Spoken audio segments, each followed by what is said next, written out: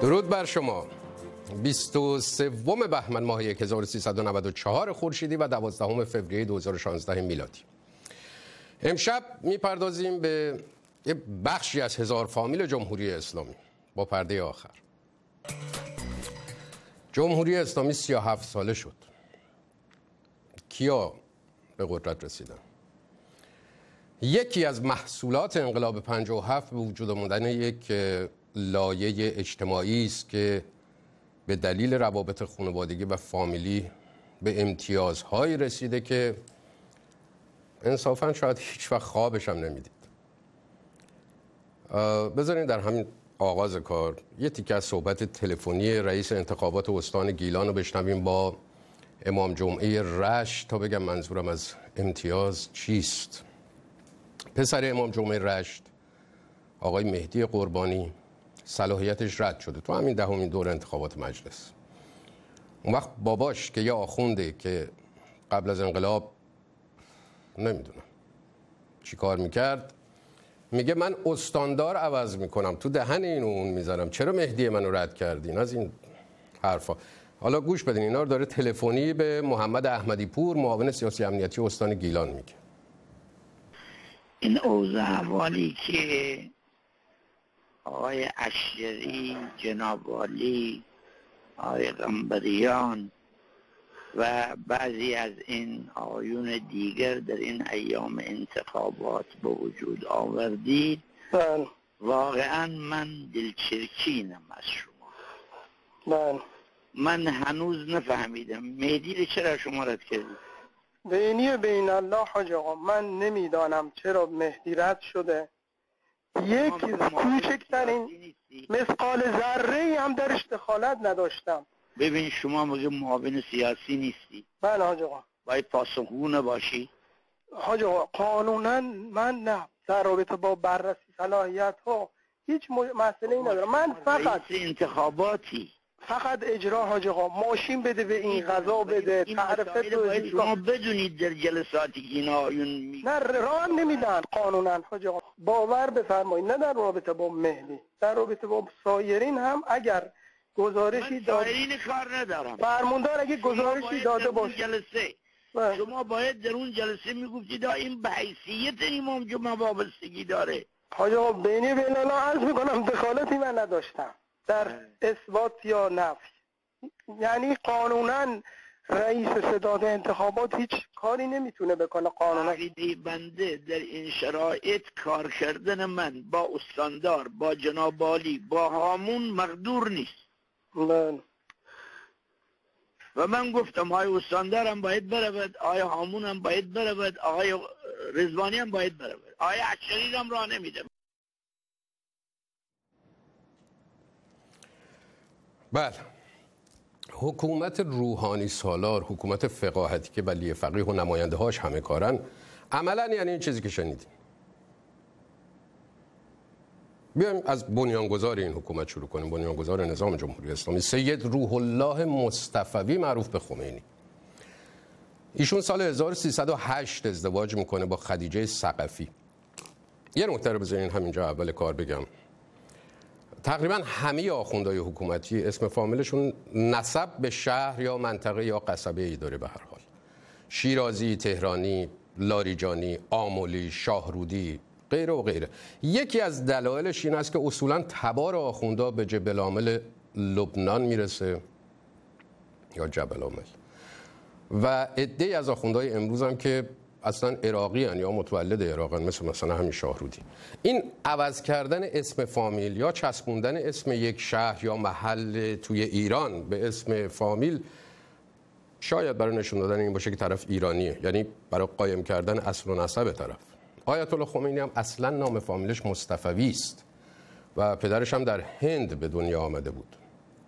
تبارشناسی خمینی رو توی برنامه مستقلی گفتیم تو همین صفحه آخر که حالا یه موقعی شاید بتونیم باز پخشش بکنیم.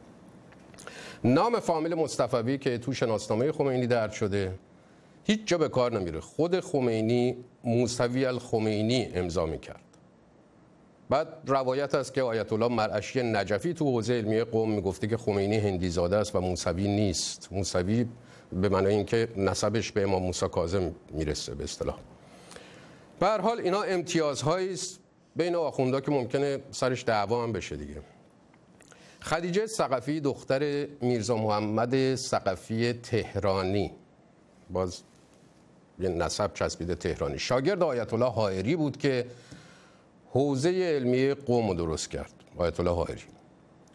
در واقع رسمیت بهش داد. خمینی 27 سالشه که با خدیجه سقفی ازدواج می‌کنه در قوم. یک سال بعد مصطفی خمینی به دنیا میاد. سال 1356 تو عراق میمیره یا میگن صدام میکشتش. 13 سال بعد احمد به دنیا میاد. یعنی 1324 این دو تا پسر رو داشت خمینی و سه تا دختر. فریده مصطفوی زهرا مصطفوی و صدیقه مصطفوی. که شاید چون زنن نباید تاریخ تولدشون منتشر بشه. نمی‌دونیم اینا دقیقا کی متولد شدن. باری. احمد خمینی سال 1373 به قتل می‌رسه با حکم چند تا آخوند حکومت فلاحیان و اجهی و مصباح یزدی و خوشبخت. و به دست مامورای وزارت اطلاعات رفسنجانی و فلاحیان یعنی سعید امامی و بقیه رده های بالای وزارت اطلاعات اون زمان. همسر احمد خمینی فاطمه تباتبایی است که با زهرا مصطفوی خواهر شوهرش جمعیت زنان جمهوری اسلامی رو درست می‌کنن سال 1368 که اولین تشکل سیاسی است که از وزارت کشور وقت مجوز فعالیت می‌گیره. چه می‌کنه این جمعیت؟ هیچ. یه بودجه می‌گیره و تنها کاری که می‌کنه موقع انتخابات اعلام حمایت از کاندیداهاست کاندیدای اصلاح طلب. هیچ دیگه ازش ندیدیم. فاطمه طباطبایی همسر احمد خمینی است. عرض کردم. یعنی چی؟ یعنی مادر حسن خمینی احمد خمینی و محمد خاتمی با دو تا دختر خاله ازدواج می‌کنن. فاطمه طباطبایی که زن احمد خمینی است خواهرزاده امام موسی صدر رهبر وقت شیعیان لبنان. ضمن دختر خاله صادق طباطبایی است.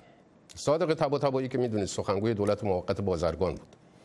فاطمه طباطبایی سال 1348 با احمد خمینی ازدواج کرد. پنج سال بعدش دختر خاله زن احمد خمینی یعنی خانم زهره صادقی با محمد خاتمی ازدواج کرد. سال 1353 ببینید این نتیجه میشه الان گرفت در همین عکسایی که دیدین و امام موسی سعد در لبنان و اینها که از سالها قبل از انقلاب این رابطه آخوندهای ایران که خیز برداشته بودن برای گرفتن قدرت با جنبش شیعی لبنان و بعدم عراق شکل گرفته بود.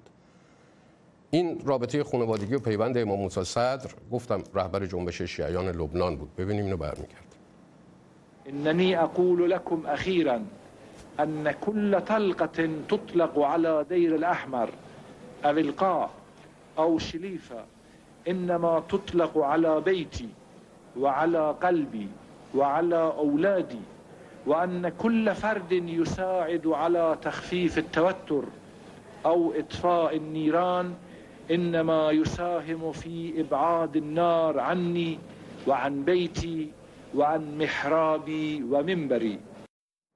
بله. امام موسی صد تشکیلاتی درست می‌کنه تو لبنان به اسم مجلس اعلای شیعیان. بعد پسرموی امام موسی صد محمد باقر صدر بود که تو عراق حزب الدعوه رو تأسیس کرد. تا اینجا باز یه نتیجه میشه گرفت. خانواده خمینی و خاتمی با رهبران جنبش های شیعی در لبنان و عراق نسبت نزدیک فامیلی دارن. یعنی کمربند سبز شیعی در سه کشور ایران، لبنان و عراق. به وسیله روحانیت شیعه از سالها قبل از انقلاب شکل بگیره و اونا مدامای کوچیکی نبودن. همونطور که خمینی شد رهبر انقلاب 57 امام موسی صدر هم سالها رهبری جنبش شیعیان لبنان رو داشت تا مفقود شدنش در لیبی شهریور 57 چند ماه قبل از انقلاب 57 ایران. و محمد باقر صدر هم که سال 59 1359 میگن عوامل صدام در نجف میکشنش خودش و خواهرشون. حزب الدعوه که محمد باقر صد بنیان گذاشت بعد از صدام بیشترین کرسی های نمایندگی مجلس عراق رو داشته تا امروز. پنج تا نخست وزیر عراق بعد از صدام هم از همین حزب بودن و هستن. از حیدر العبادی که الان نخست وزیر تا نوری المالکی و ابراهیم جعفری و دو تا نخست وزیر قبل از این بعد تابستون 1358 این حزب منتقل میشه به ایران از عراق. یه اردوگاه نظامی نزدیک اهواز به اسم اردوگاه شهید صدر رو میدن به این حزب که مهمترین مرکز آموزشی حزب الدعوه در ایران است اون موقع و حدود هفت هزار نیروی نظامی تو این مرکز مرکز شهید صدر نزدیک اهواز آموزش می‌دیدن. بعد از اینکه جنگ ایران عراق شروع میشه این نیروها علیه نیروهای عراقی میجنگن. سال 1359 آقایی که می‌بینین محمد مهدی آصفی آیت الله سخنگوی رسمی حزب الدعوه عراق میشه. خب پسر سخنگوی حزب الدعوه عراق کیه؟ حمید رضا آصفی که اونم متولد نجفه. خیلی ها نوشتن متولد مشهد و متولد تهرانه که بگن ایرانی است ولی اینطور نیست. ایشون متولد نجف سایت جماران برای نمونه خدمتتون من براتون بخونم. نوشته است که حمیدرضا آصفی که فرزند آیت الله آصفی و متولد شهر مقدس نجف است دارای تحصیلات دانشگاهی در رشته مهندسی شیمی است و غیره و غیره. حمیدرضا آصفی سخنگوی وزارت خارجه بود وقتی محمد خاتمی رئیس جمهور بود. حمیدرضا آصفی با محمد خاتمی قبل از هر چیزی از طریق حزب الدعوه عراق به هم پیوند می‌خورن در واقع. حمیدرضا آصفی فرزند سخنگوی حزب مقتدر عراقی است که بنیانگذارش رابطه فامیلی داره با محمد خاتمی. و همین بنیانگذار حزب الدعوه گفتم پسرموی امام موسی صدر رهبر شیعیان عراق یعنی همون کمربند جنبش شیعی که خدمتون عرض کردم در این سه کشور خاورمیانه نه فقط از پیش از انقلاب 57 شکل گرفته بود بلکه همچنان افراد ایرانی و لبنانی و عراقی در مستر امور سه کشور هستن. یعنی این کمربند همچنان فعاله. همین امروز ببینین امام موسی صدر یه برادر بزرگتر داشت به اسم سید رضا صدر. پسر سید رضا صدر سید محمد صدر برادرزاده امام موسی صدر میشه دیگه. سید محمد صدر چه نسبتی با خانواده خاتمی و خمینی داره؟ پسرخاله زن خاتمیه و پسرخاله زن احمد خمینی. خب حالا ایشون پسرخاله زن خاتمی و احمد خمینی چه کار است تو جمهوری اسلامی؟ تو دوره میر حسین موسوی معاون وزارت کشور بود تا آخر ریاست جمهوری محمد خاتمی هم معاون وزارت خارجه. یعنی حفاظت از کمربند سبز شیعی تو سه کشوری که گفتم بی برنامه و با شعار صرفا نیست. آدما تو پستای بالای وزارت خارجه کاشته میشن. و جالبه بدونیم که خیلی از کسایی که تو این حلقه روابط فامیلی و خانوادگی نسبشون به عراق و لبنان می‌رسه تو وزارت خارجه کار کردن یا می‌کنن؟ یعنی جای درستی گذاشته میشن از اول برای صدور انقلاب اسلامی به اصطلاح.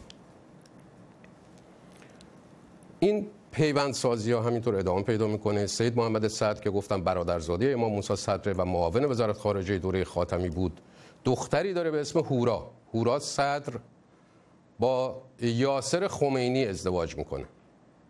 یاسر خمینی برادر سید حسن خمینی. یعنی اینجوری پیوند خانواده خمینی با رهبران شیعه لبنان محکمتر میشه. بعد علی برادر کوچیکه حسن خمینی میشه داماد آیت الله شهرستانی. آیت الله شهرستانی که خودش داماد آیت الله علی سیستانیه رهبر شیعیان عراق که ساکن نجفه. یعنی برادر کوچیکه حسن خمینی میشه شوهر نوه آیت الله سید علی سیستانی رهبر شیعیان عراق.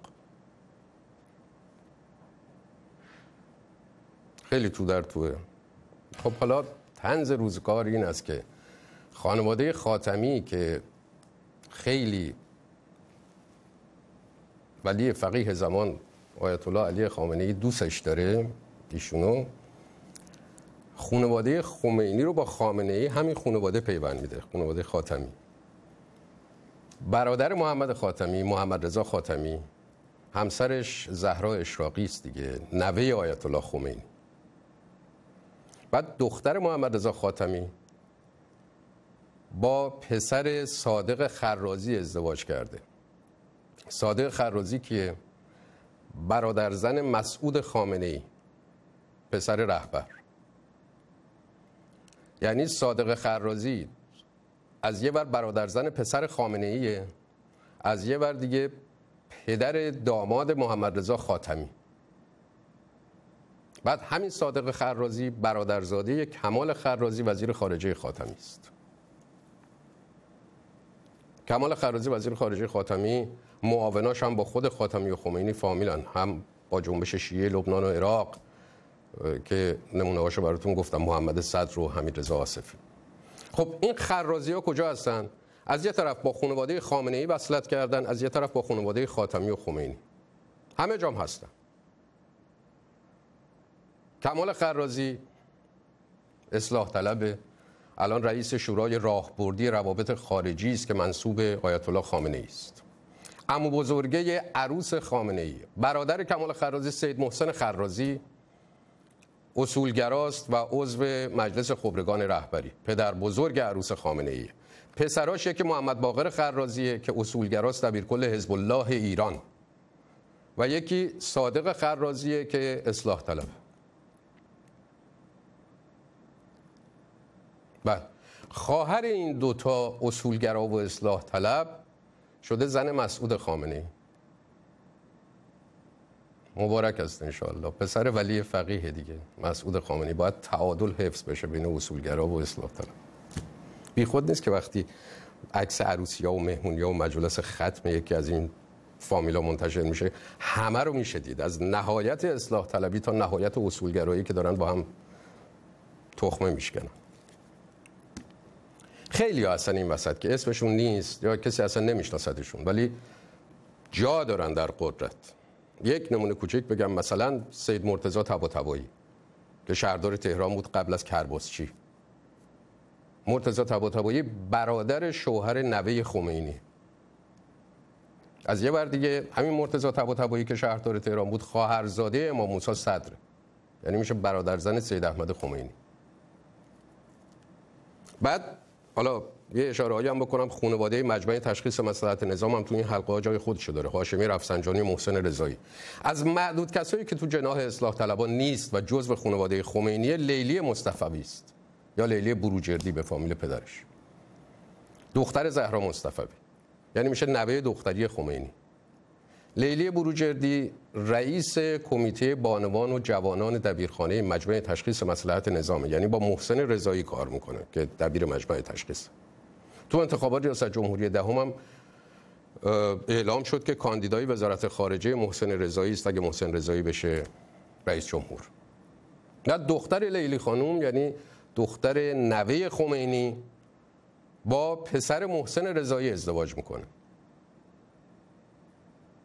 بعد یه رابطه دیگه خانوادگی هم شکل می‌گیره. بین رئیس مجمع تشخیص مصلحت نظام هاشمی رفسنجانی با خانواده خمینی که کارت دعوتش منتشر شد که دارین می‌بینید 20 شهریور 93 مراسم ازدواج خانم زهرا سید روحانی نوه آیت الله اشراقی یعنی نتیجه دختری خمینی با اماد هاشمی رفسنجانی فرزند محسن هاشمی در تهران. نتیجه خمینی با نوه هاشمی رفسنجانی پارسال ازدواج کرده. یعنی حلقه ها به این دلیل گفتم. همینطوری هی زیادتر میشه. باری فکر کنم روشن شده باشه تا حدودی که کیا دارن در کجای جهان برای این سه کشور تعیین تکلیف می‌کنن. بعد تو این روابط خانوادگی طیف دیگه ای هست که بودنشون در قدرت باعث شده که یه حاشیه امنیتی برای کارهای به اصطلاح اقتصادیشون درست بشه. که باز بذارین یک مثال بزنم بعد بریم سراغ مهمان محترم برنامه. از بذارین از کتاب شنود اشباه براتون بخونم و نامه به محمد خاتمی که هر دو اثر تحقیقی نوشته آقای رضا گلپوره که با استفاده از اسناد وزارت اطلاعات و متن پیاده شده کلی مصاحبه ایشون با آدمای اطلاعاتی حکومت نوشته شده. نوشته از سید محمد هاشمی با اسم مستعار سید محمد موسوی زاده سرمایه گذار کلان و مولتی میلیونر امروزی معاون وقت ری شهری وزیر اطلاعات میر حسین موسوی که خامنه ای رئیس جمهور بود همون دوران طلایی امام. دارای شرکت بزرگ اقتصادی که با آسیای میانه کار تبادل و ترانزیت انجام می‌دهد. رضا گلپور ترجمه مصاحبه خبرنگار خارجی رو با محمد هاشمی یا اسم اطلاعاتیش محمد سید محمد موسوی زاده آورده. می‌دونید محمد هاشمی همسر معصومه ابتکار. خبرنگار نوشته است که و محمد هاشمی از گروگانگیرای سفارت آمریکا بود. همونجا هم با سخنگوی گروگانگیرا یعنی معصومه ابتکار آشنا شد و با هم دیگه ازدواج کردن. معصومه ابتکار که می‌دونید معاون خاتمی بود و الان هم رئیس محیط زیست روحانی است. خبرنگار نوشته محمد هاشمی را در دفتری به دور از خیابانهای پرهیاهو و شلوغ بخش مرکزی تهران ملاقات کردم. هاشمی با اعتماد به نفس و حتی مغرورانه نه تنها از کاری که او و سایر گروگانگیرها انجام داده بودند بلکه از نحوه کارشان هم دفاع می کند این مصاحبه با محمد هاشمی که خبرنگار خارجی کرده غربی کرده مال 25 سال بعد از گروگانگیری. نقش کلیدی هاشمی در اشغال سفارت آینده شغلی خوبی را برای وی در پی داشته. اکنون از لحن او چنین برمیآید که او و همسرش معصومه ابتکار پول زیادی را در پروژه بلند پروازانه یک اقامتگاه به نام بهشت جم واقع در ساحل دریای خزر سرمایه گذاری کردند. به نظر می رسید هدف از بروشورهایی که به من نشان داد جذب جهانگردان داخلی و خارجی است. هاشمی در حالی که ماکت مفصل پروژه مجموعی از آپارتمان های مدرن، هتل، ویلا، رستوران، دریاچه و سایر ویژگی هایی که در رأس این شبه جزیره قرار داشت را به من نشان می‌داد، کاملا هیجان زده گفت شاید ظرف چند سال آینده ما آمریکایی هایی را که به گروگان گرفته بودیم دعوت کنیم تا به ایران بیایند و در این اقامتگاه میهمان ما باشند.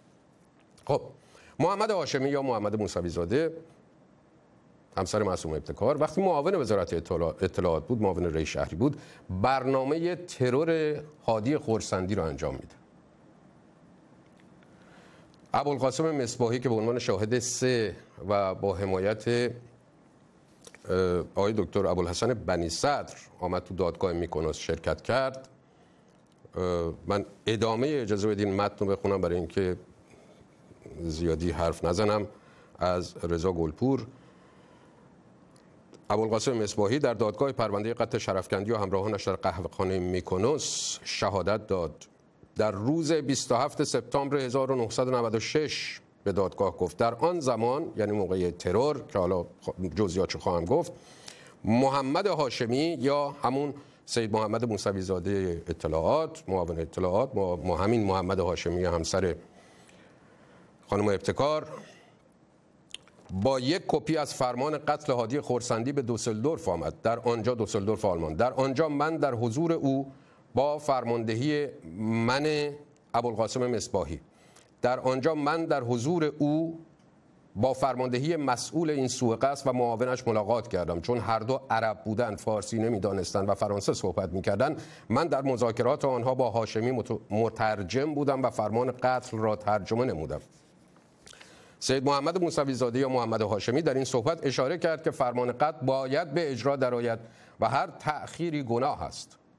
در اتریش پول و عکس قربانی که از طریق سفارت ایران در وین فرستاده شده بود را به تیم دادم به علاوه من در گرفتن دستور اجرای سوء قصد از وزارت اطلاعات در تهران و انتقال آن به تیم همکاری نمودم.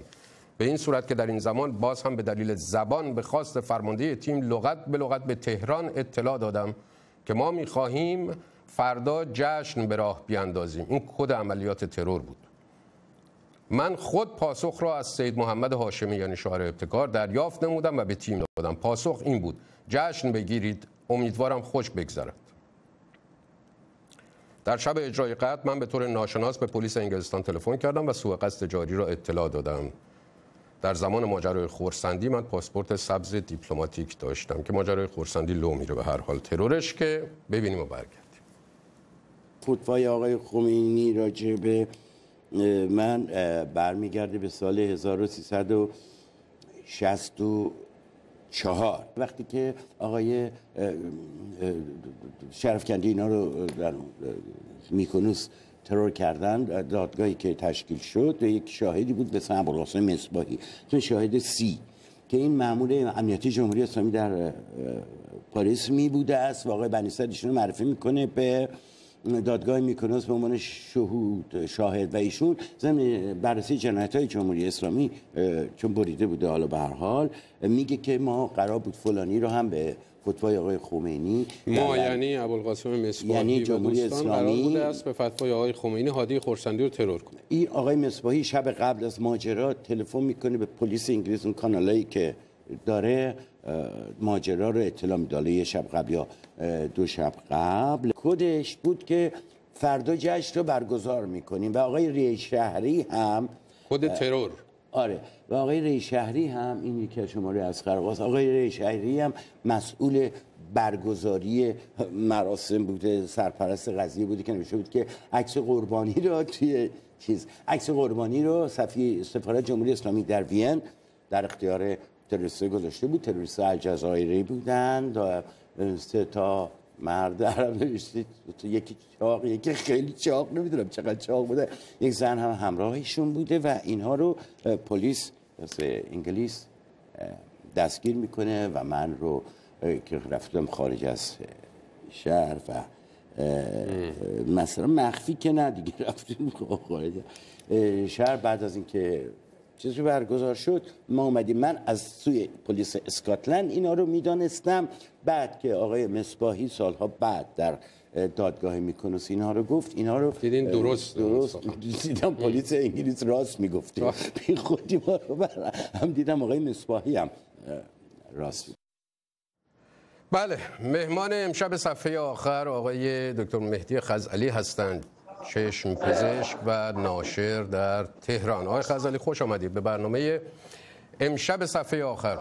آقای دکتر شما خودتون آقازاده این درباره خودتون و آنچه که گفته می شود اصحای ادب نمی کنم آنچه که بسیار گفته می شود و بسیار شنیدید. رانت آقازادگی در تحصیل مدرک تحصیلی و شغل شما یعنی هم امتیاز نشر گرفتن و قبل از اون مدرک پزشکیتون اصلا وارد شدن به دانشگاه و بعد ادامه تحصیلتون و بعد شغل و اینها. شما رو در ضمن یکی از سالمترین و صادقترین کسانی می‌دونن که در چارچوب نظام جمهوری اسلامی فعالیت می‌کنید و منتقد نظام هستید. با همین صداقت خواهش کنم بفرمایید که چقدر از رانت آقازادگی استفاده کردید. بسم الله الرحمن الرحیم. ارز کنم که اولین رانتی که استفاده کردم فکر می‌کنم دست بردم توی شناسنامم دو سال بزرگ کردم که برم جبهه. و خب در جبهه هم در اکثر عملیات ها بودم و رزمنده بودم خط شکم بودم. باز مثل بعضی ها قرارگاه و پشت جبهه و جایی که موشک نرسه نرفتم. واقعا رفتم ترکش خوردم و جنگیدم. اما مثل همه در کنکور شرکت کردم وارد دانشکده تب شدم. البته برای ورود به تخصص و چشم پزشکی چون من اون موقع پرسنل رسمی دولتی بودم طبیعتا یک بورسیه هایی برای اینها قرار می گرفت باز آخرین نفر بودم رفتم علیرغم اینکه امتیازاتم بیشتر بود ولی مایل نبودم تا اینکه دیدم خب همه دوستان و همکاران از این بورسیه برای تخصصی رفتن و دستیاری استفاده کردن. طبیعی بود بدون رانت استفاده کردم اما خودم با همه این بورسیه ها و این امکاناتی که برای کارمندان دولت قائلا مخالفم به جهت اینکه ورود به دولت خودش یک رانت است. هر کسی نمی‌تونه راحت و در مسیر طبیعی بره. بله ورود من هم به دولت طبیعتا از همین ارتباط ها و راه ها بی بهره نبوده. طبیعتا نمی‌تونه امتیاز بورسیه تحصیلی برای نیروهای دولتی قائل بشیم که همه استفاده کردن و من معتقدم باید مبارزه کنیم که این بورسیه ها و این رانت هایی که در اختیار مسئولین هست در واقع برداشته بشه. مسئولین چرا باید بورسیه اون سازمان و وزارتخونه مطبوع رو بگیرن و به ادامه تحصیل و مدارج عالیه بپردازن؟ حالا بعضی موقع بورس می‌گیرن خارج کشور بعضی موقع بورسی های داخل فرقی نمی‌کنه. طبیعتا باید با این مبارزه کرد. شاید من اگه بخوام نگاه کنم حتی در صفحه نوایی مراقب بودم نوبتم رعایت شه. آقای دکتر معذرت می‌خوام. درباره حج داشتم که من بارها گفتم با سهمیه ای بود است که در دوران نوجوانی در واقع 18 سالم بود با سهمیه ای بود که پدر برای من تهیه کرد ولی اونو اعاده کردم. این اعاده کردن فقط از نظر این بود که با نوبت بدون نوبت حج رفتن معنا ندارد ولی اون پیرزنی که نتونسته بره حج و من نوجوان من جوون رفتم حج طبیعتا سر پل سرات جلوی منو می‌گیره. میگه که من نرفتم و آخرم مکه رو ندیدم. تو یه 18 ساله چرا باید بدون نوبت و با استفاده از سهمیه شورای نگهبان بری حج؟ من حجم اعاده کردم بدون با رعایت نوبت و طبق مسیر عادی ولی اون پیرزن سر پل سرات منتظر من هست. قطعا هم یقه منو خواهد گرفت و حق با اوست. باید این رابطه ها و این چیزهایی که هنوزم جریان داره فرقی هم نمی‌کنه. اصلاحات و غیر اصلاحات هم نمی‌شناسه.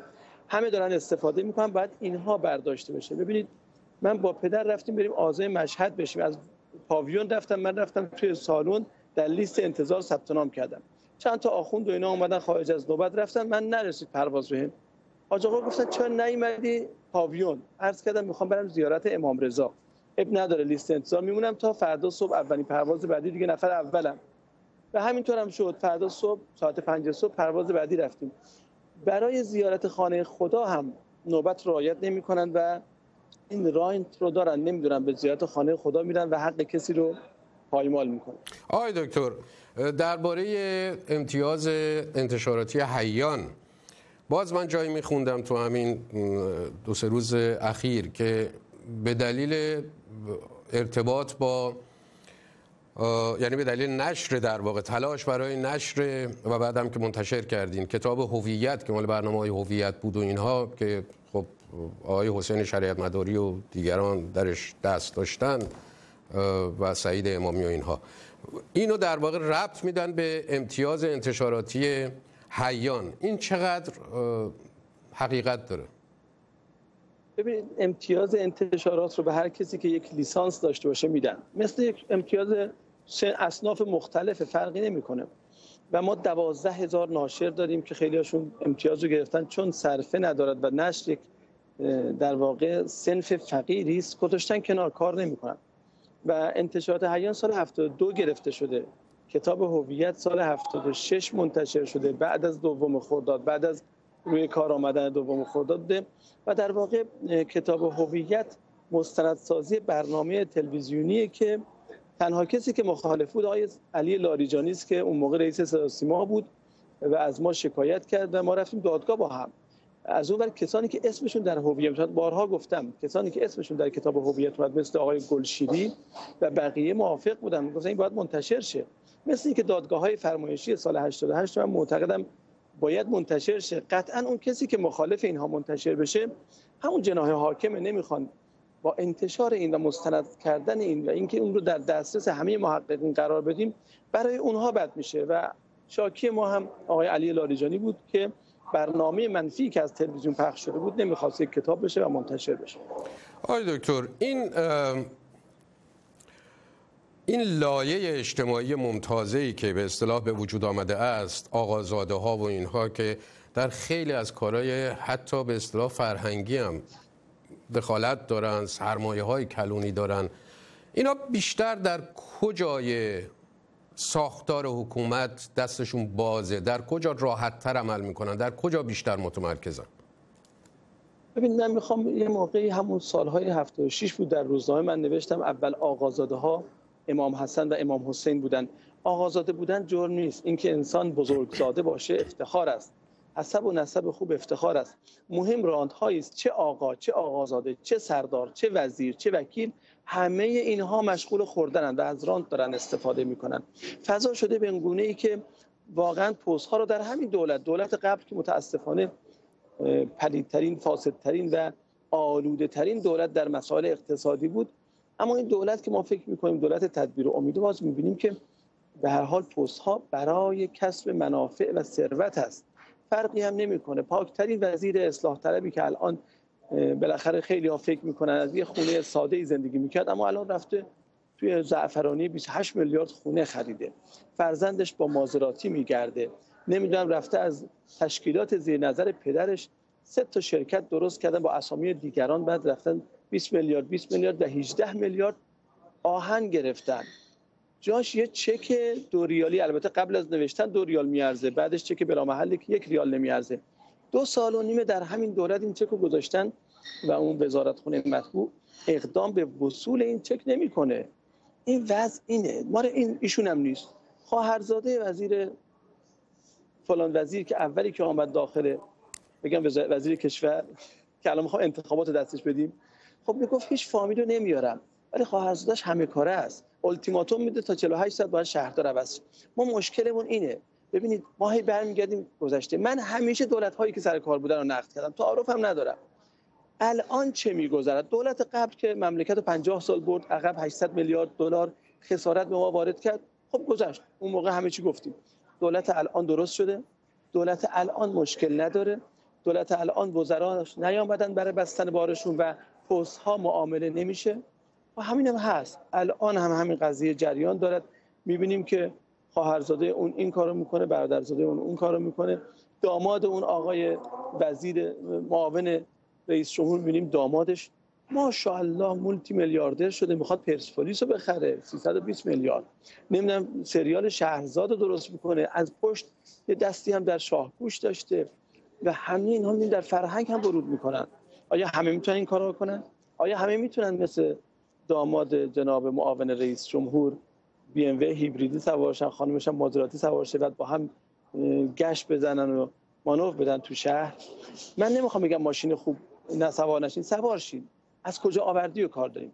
ما می‌خوام ببینیم آیا همه می‌تونن این امتیازات رو استفاده کنن؟ همه می‌تونن برن با یه چک دوریالی 60 میلیارد 58 میلیارد آهن بگیرن و دو سال و نیم پولشو ندن و هیچ کسی هم اقدام نکنه روی این چک ها باز نزدیکتر بشیم ببینید شما همه اینا رو می‌دونید. من بحثم در مسائل راندها و فامیل بازی ها و این هزار فامیلی اینه که مثلا فلانی یک دونه کامنت گذاشته رفته تو زندان خوابیده یک کامنت توی سایتی گذاشته انتقادی کرده. بنده یه انتقاد کوچولوی سازنده کردم دو سال حبس گرفتم. الان 34 سال و 4 ماه محکومیت در 10 تا پرونده حتی 12 تا دو تا هم که الان تجدید نظره. 34 سال 4 ماه محکومیت دارم. اما می‌بینیم که شوهر خواهر رهبری رفته در دامان صدام. مدت ها هر چه خواسته در رادیوی عراق گفته و هم دست دشمن این ملت شده. اومده جوانهایی که در اینجا کشتشن یک میلیون شهید و مجروح. الان اومده راحت نزدیک بهارستان زندگی می‌کنه. تو کتابخونه مجلس هم میره استفاده می‌کنه. و تازه الان مدعی هم هست.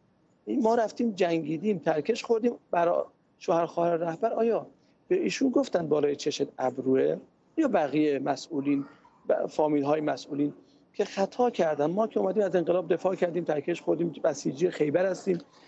با کوچکترین نقدی که می‌گوییم مثلا های تریبون رهبری 6 متر اصراف است در سال اصلاح الگوی مصرف. از اینجا شروع کنیم. همین دو سال حبس داشت برای من که گفتم اصلاح الگوی مصرف رو از های تریبون رهبری شروع کنیم. ولی آقایون این کارا رو دارن می‌کنن. ما به کسی اهانت نکردیم.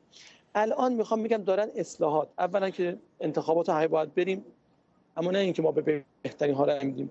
ما همیشه بین بد و بدتر انتخاب کردیم. قطعا به لیست متحده اصلاحات رای میدیم و قطعا شاخص های جناح حاکم رو با این وحدت اون می‌زنیم. شاخص ها باید به مجلس راه پیدا نکنن و ما بگیم کسانی که رد صلاحیت گسترده کردن ما رد صلاحیت می‌کنیم. این مقدمه رو گفتم برای اینکه بگم حتی در تهیه لیست می‌بینیم که دختر فلانی هنوز مدرکش خشک نشده. بابا بذار فوق لیسانسش خشک بشه یه رزومه کاری داشته باشه چارج کار کنه بعد بره مجلس. چون دختر فلان وزیر دوران خاتمی میره تو اونجا و آدمی که دو صفحه رزومه داره و پای حرفش واسطه دوران احمدی از دانشگاه خودش شدنش اخراج کردن این حذف میشه. اینا خب دردای ماست. بازم فامیل بازیه بازم باند بازیه چون حزب نداره. چون هر کسی از زیر بوته میاد به عمل. چون بچه فلانی هم و دختر خاله فلانی هم و پسر خاله فلانی هم و بدتر از اینها. فلان فلانی مادرش زن شهید بوده خدا شهیدشو بیامرزه. چون سیغه فلان فرد رئیس جمهور شده حالا می میشه دو تا کارخونه دستش میدیم. آقا این که مادر شما سیغه فلانی شد که برای شما شایستگی نمیاره.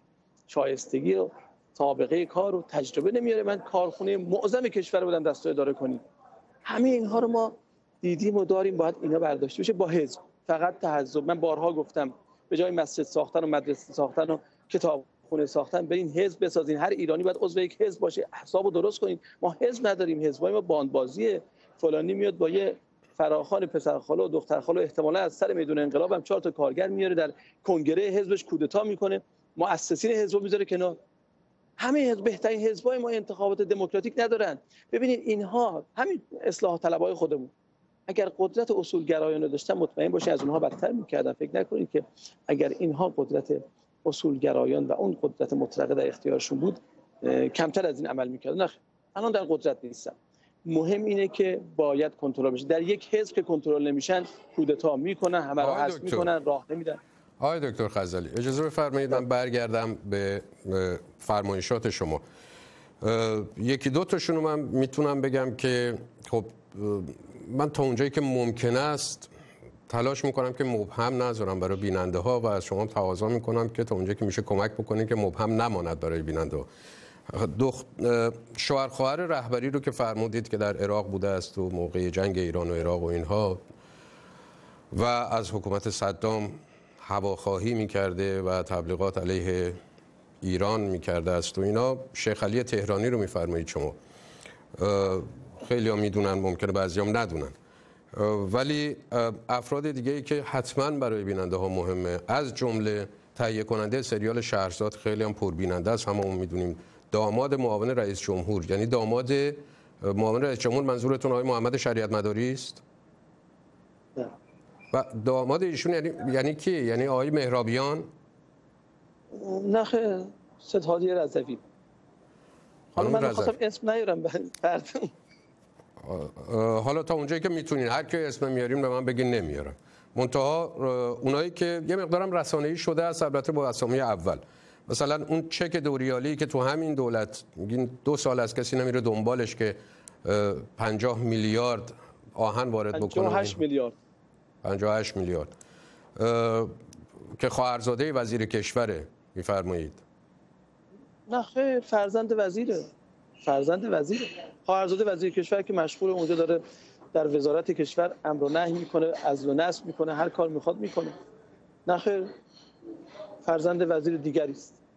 که اصلاح طلب هم هست. خب ببینید دردا اینه تا کی باید ما همینطور خب حالا اسمای اینا رو اسمای اینا خیلی خوب. نمی‌خوایم بگین که فرزند کدوم وزیره. یعنی فرزند وزیر صنعت و معدن ایشون که دنبال وارد کردن آهنه.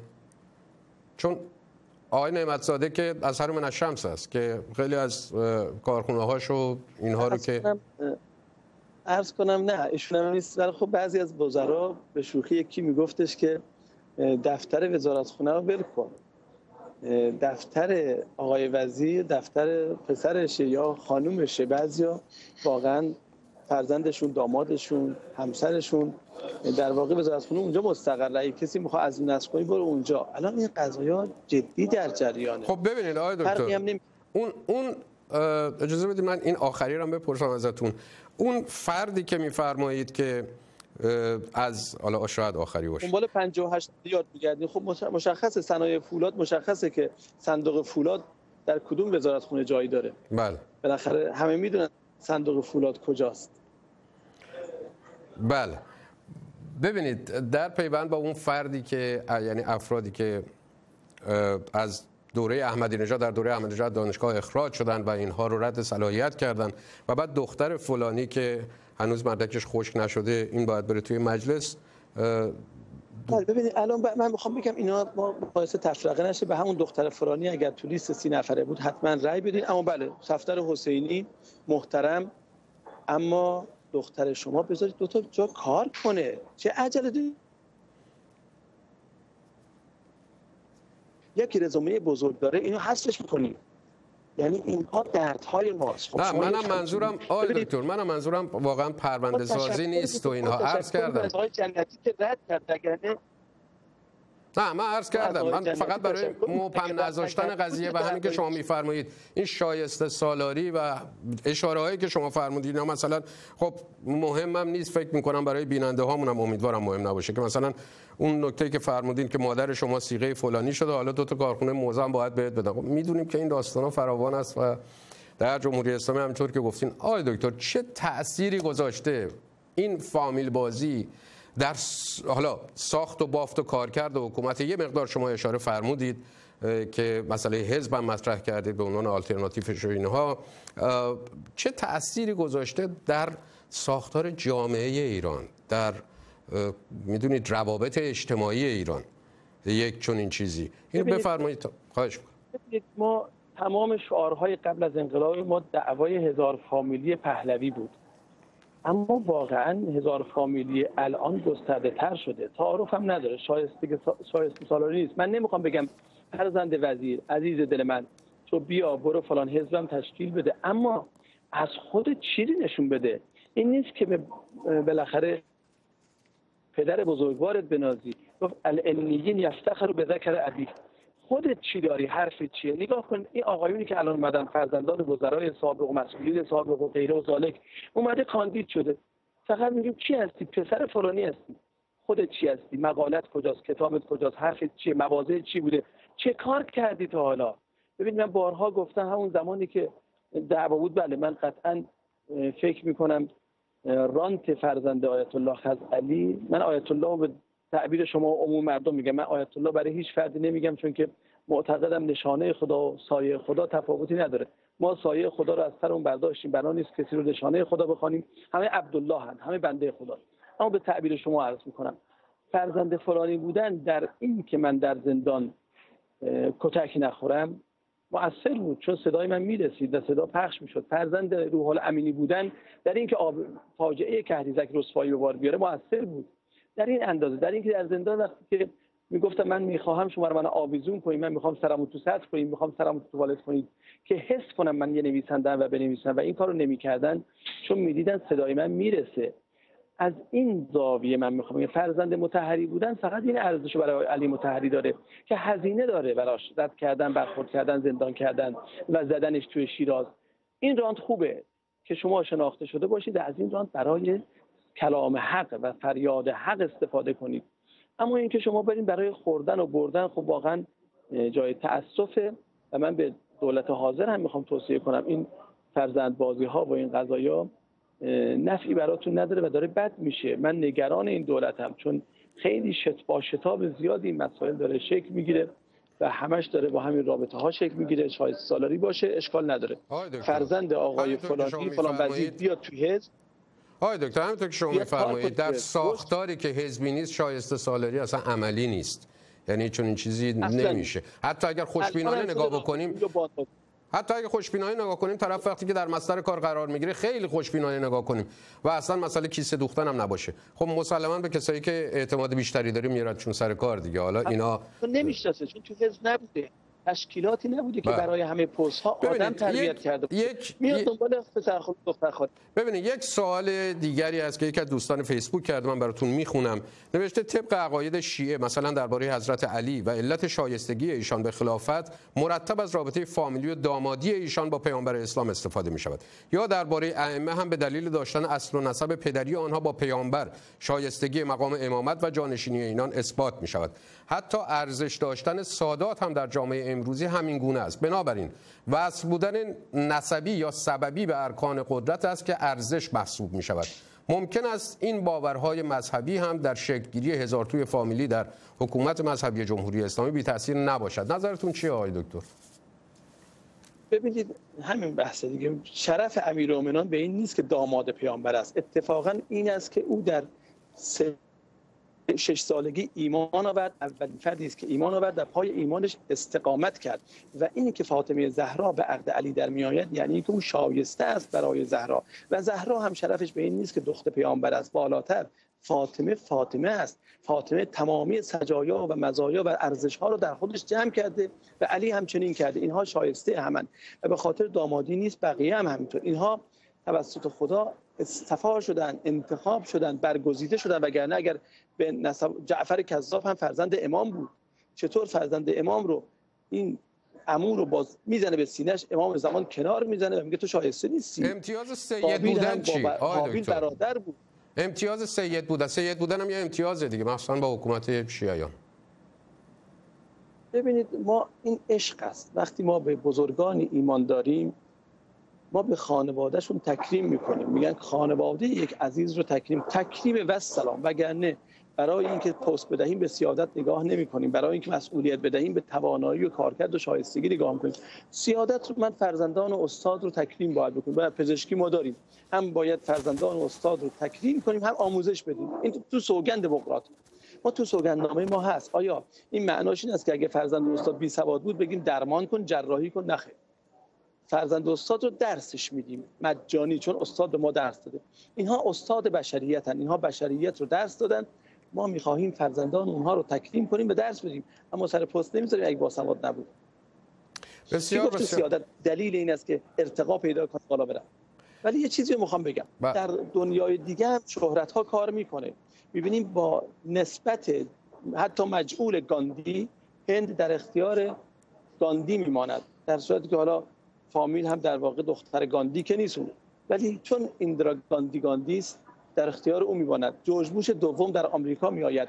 هیلاری کلینتون به واسطه اینکه همسر کلینتون هست در رقابت دموکرات ها میاد پا به پای اوباما رقابت می‌کنه و الان شاید این دفعه اصلا جانشین اوباما بشه. یعنی شانس پیروزی دموکرات ها در آمریکا هیلاری کلینتون شاید باشه. چون از اون شهرت و اون برند داره استفاده می‌کنه. برندینگ فامیلیو ما میپذیریم. ولی برید حزبی باشد ببینن هیلاری اصلا شایستگی ریاست جمهوری دارد. آیا می‌تواند تحلیل کند مسائل سیاسی رو؟ به خدا قسم بسیاری از نمایندگان مجلس وقتی هم باهاشون صحبت می‌کنم هر رو از بر تشخیص نمیدن. دو کلام صحبت نمی‌تونن بکنن. بسیاری نمایندگان مجلس حالا فقط اومدن ارتباط گرفتن. ولی وقتی می‌خواد صحبت کنی تحلیل کن راجع مسئله سیاسی بحثی کن یک پیش بینی کن. خب بحث همینه دیگه. بحث بحث همین آقای دکتر. مثلا مثالی که فرمودی درباره ایندرا گاندی یا درباره که دختر نهرو و بعد درباره هیلاری کلینتون و اینها همینطور که میفرم مخصوصا در آمریکا این ساختار حزبی باعث به که اینا انقدر بحث می‌کنن و انقدر در برابر مردم در واقع آزمایش پس میدن تا لاقل هم هاشون و بعد هم مردم موقع انتخابات که در واقع اونجا امتحان دارن میدن دیگه و نتیجه امتحانشونه که معدلش باعث می‌شود که بالاتر باشه یا پایینتر باشه. باری بسیار بسیار سپاسگزار آقای دکتر مهدی خزعلی که در این برنامه صفحه آخر حضور داشته شبتون بخیر آقای خزعلی شب بخیر خدا نگهدار. افتادین شما؟ چقدر عقب مونده این کجای قوانین اروپا آورده که زن فرماندار بشه بخشدار بشه شهردار بشه نشانه توسعه یافتگیه؟ کجای قوانین اروپا آمریکا یه همچین چیزی آورده؟ می‌خوایم زنها رو به جایگاهشون برسونیم. کدوم جایگاه؟ مردا رو به جایگاهشون رسوندیم. این همه مرد بیکار. سرپرست خانوار بیکاره. بعد شما دنبال این که زنها رو به جایگاهشون برسونیم. همین هم مونده بود. امام جمعه فرمانده سپاه نیروی فرمانده انتظامی یه لنگ پا وایسن برای یه جلسه تا خانم فرمانده تشریف بیارن. چرا خانم فرمانده تشریف نیاوردن حاج آقا حاج خانم پریود بودن داخل مسجد نمی‌تونن تشریف بیارن. شما تشریف بیارین دفترشون.